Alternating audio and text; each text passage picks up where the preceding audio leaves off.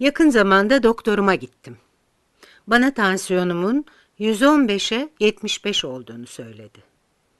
Ben de bunun tam olarak ne olduğu ve kan basıncı hakkında genel olarak ne düşünmemiz gerektiği konusunda bir video yapmaya karar verdim. Bu doktor randevumu ve değerleri bir başlangıç noktası olarak düşündüm. Kan basıncı deyince aklıma şu geliyor. Bir boru düşünüyorum. Bu boru benim damarım olsun. Borunun içinden de kan geçiyor. Yani bir taraftan diğer tarafa geçmeye çalışan kan var. Kan akışı esnasında düzenli bir şekilde dışarı doğru bir itme yapıyor. Bu da duvarlara karşı bir zorlama uyguluyor. Hem hücreler hem de plazma var. Bütün bunlar damar duvarına doğru itme uyguluyor. Yani bir baskı mevcut ve bu baskıda kan damarının yüzey alanına doğru uygulanıyor. Yani yüzey alanı üzerine bir baskı var. Ve bir alan üzerinde ne zaman bir baskı görürseniz bunun basınca eşit olduğunu biliyorsunuz. Bu durumda bunun adı kan basıncıdır. Çünkü baskıyı uygulayan burada kandır. Kan basıncı deyince ben bu şekilde düşünüyorum. Gördüğünüz bu mavi oklar kan basıncı oluyor. Ve kan basıncı hakkında ne zaman düşünsem aklıma iki soru gelir. Birincisi kan basıncı nereden ölçülür? Yani kan dolaşımında nerede? Ve ikincisi ne zaman? Birinci sorumuzla başlayalım. Nereden sorusu? Evet, bir kalbimiz var. Sevgililer günü kalbimi çiziyorum. Sonra kalpten uzanan aort damarımız var. Bu damarın bir sürü uzantısı vardır. Ama ben sadece kollarımıza giden atar damarı çizeceğim. Buna kol atar damarı denir. Bu kolumuza doğru uzanır.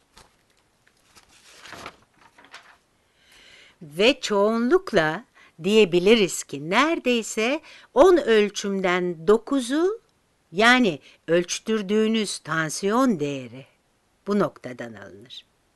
Yani ölçtürdüğünüz tansiyon değeri bu noktadan alınır. Küçük x harfiyle bu noktayı işaretledim. Burası kolun biraz üst kısımlarında yer alıyor. Evet, tansiyon çoğunlukla buradan ölçülür. Yani ne dedik? Kanın damar duvarlarına uyguladığı baskı buradan ölçülüyor. Bunu şöyle mavi oklarla gösterelim. Evet, nereden sorusunu böylece cevaplamış olduk.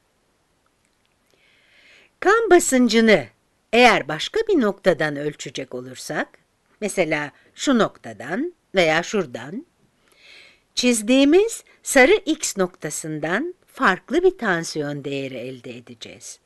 O yüzden ölçüm yaparken bu belirli yerden bahsediyoruz.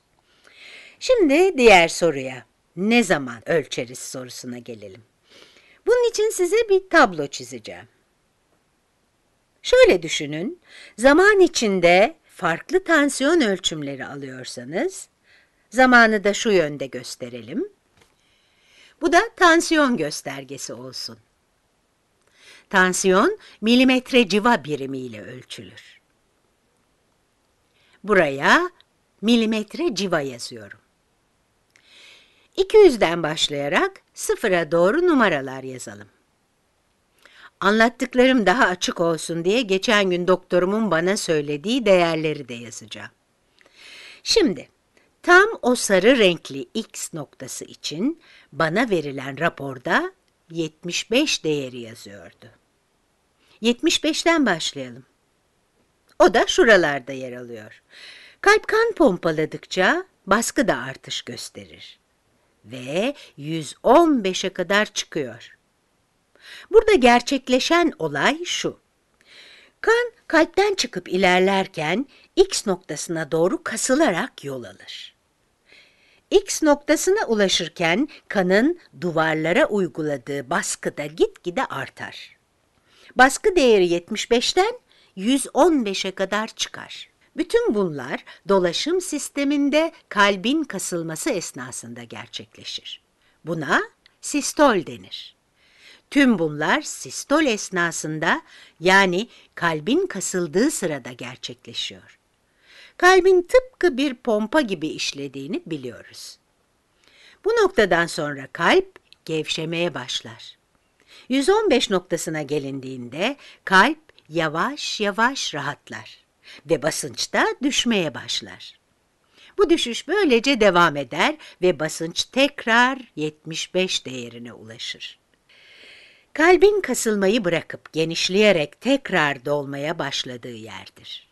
Buna diastol yani kalp genişlemesi denir. Ben buna gevşeme diyeceğim.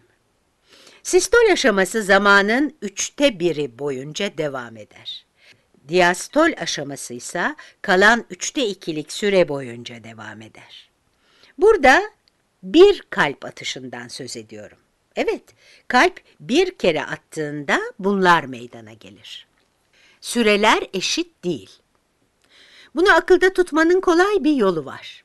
Diyelim ki ben günde 8 saat çalışıyorum. 16 saat boyunca da çalışmıyorum. Yani dinleniyorum. Kalp kasılınca işini yapıyor.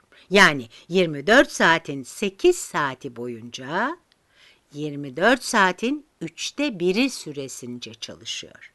Benimle hemen hemen aynı vaktin üçte birinde kalp kasılıyor.